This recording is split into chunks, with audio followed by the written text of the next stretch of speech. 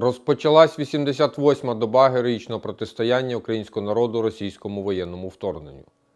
Противник не припиняє ведення наступальних дій у східній операційній зоні.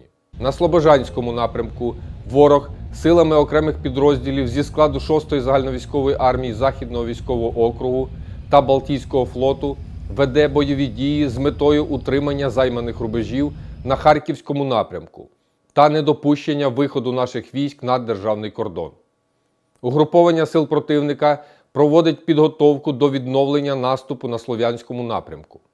Окупанти здійснили артилерійські обстріли в районах населених пунктів Вірнопілля, Дібрівне та Довгеньке.